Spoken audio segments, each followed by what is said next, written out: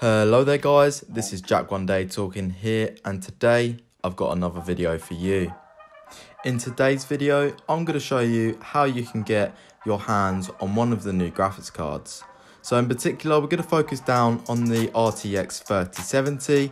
However, this method will also work for the 3080, 3090 and also the new future releases of the 3060.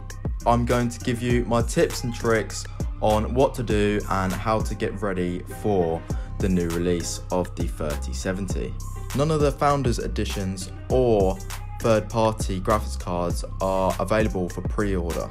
Like we saw with the 3090s and 3080s, it was very hard to manage to get one because everyone was going after them. And we saw a lot of people sell them on third party selling sites such as eBay.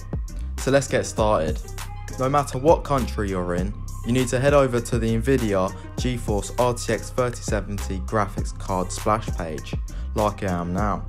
Once you've landed on this page, you'll see sort of a load of information about the graphics card, what you can expect, um, what the Founders Edition will look like, and you can also sign up for a Notify Me email, um, which, yep, this graphics card will be coming available on the 29th of October, so very soon.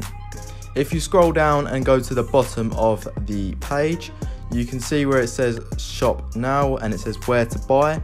For me, it will say United Kingdom because that's where I live. Um, but obviously, based on your IP address, it will change. And below that has a number of different retailers you should be able to buy the graphics card from when it releases. So if you head over to some of them websites, check them all out and find the web pages you need to save for them days. I am aware that some of the retailers that usually would release these devices uh, are not on here. So, for example, in the UK, a big PC retailer would be Currys PC World, and they do tend to drop these cards. Um, I know they dropped the RTX 3080, so I'm also gonna get that website up and have a look on there and make sure I save a graphics card splash page. So here's an example, I've opened up ebuyer.com. As you can see, there is a load of different uh, third party graphics cards for the 3070. And if you just look through there, maybe decide which one you want, which looks most appealing. And then you just click on one. So I'm just gonna open up the first one. And then basically what you'd wanna do is just save these pages.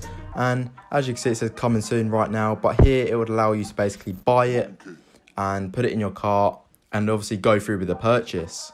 So this will obviously come available on the 29th of October.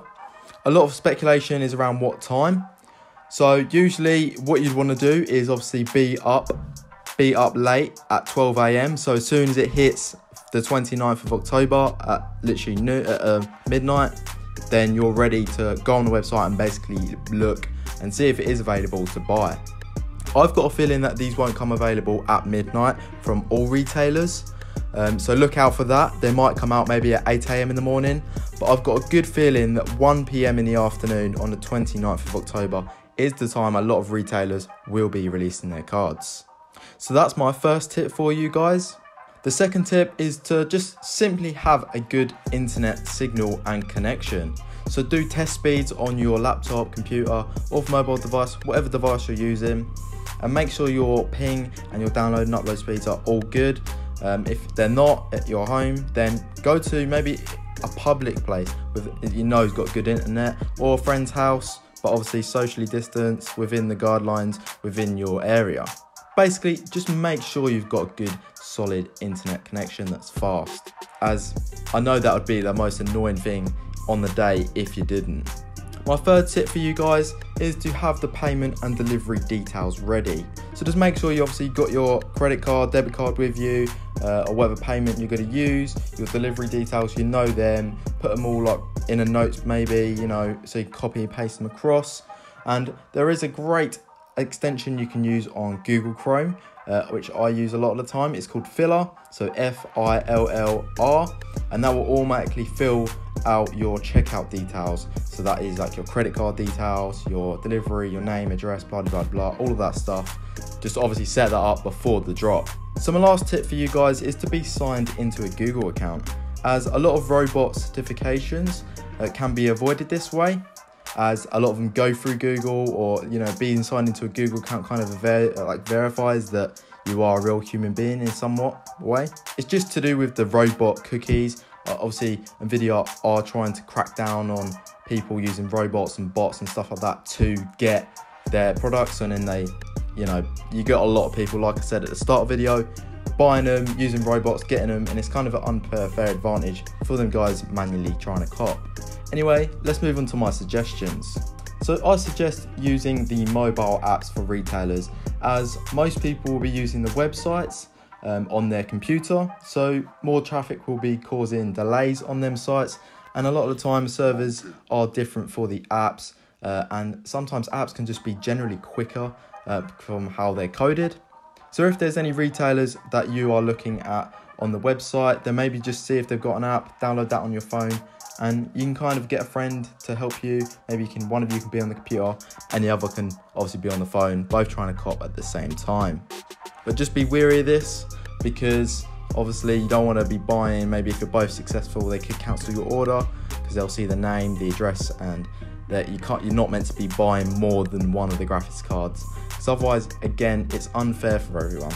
So my second suggestion is to use a monitor website or program uh, that continually checks the status of a web page for you.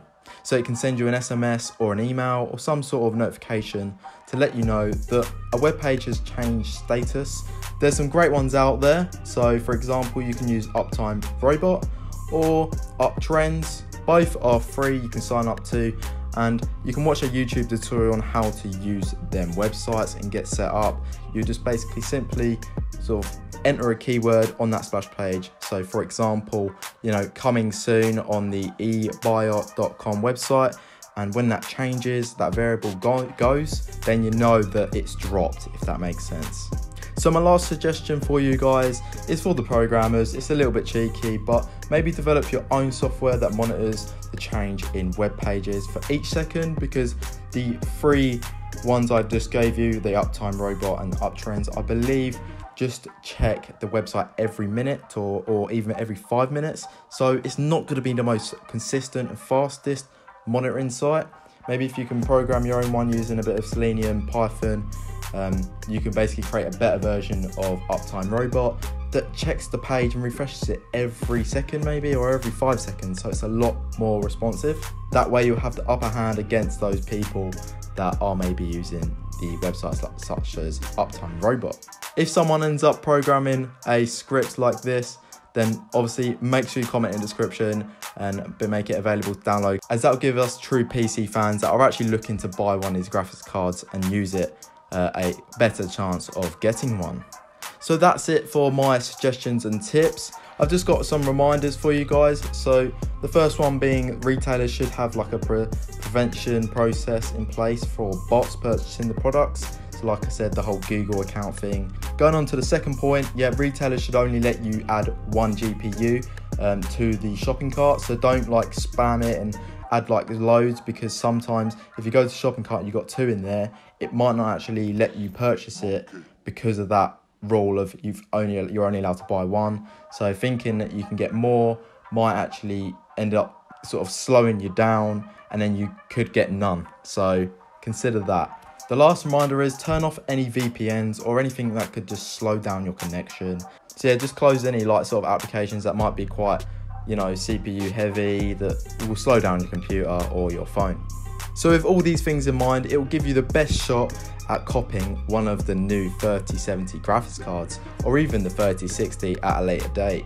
I'm sure even a second drop with the 3080s and the 3090s is still going to be hard to cop because of the limited number of graphics cards available from Nvidia. On a last note, the Founders Editions are always harder to cop, so if you unless you really, really and only want that version, then go for that version. But if you're not bothered, then try and go for the third party ones because you've got a higher chance of a successful checkout. Anyway, guys, let me know if you've copped one of the 3070 graphics cards or even the 3080 or 3090 before in the comment section down below. If you've enjoyed this video and you found it helpful, then smash that thumbs up button and don't forget to subscribe for more content like this. I'm always looking for the latest news on gaming, PCs, phones, and any technology that I find interesting.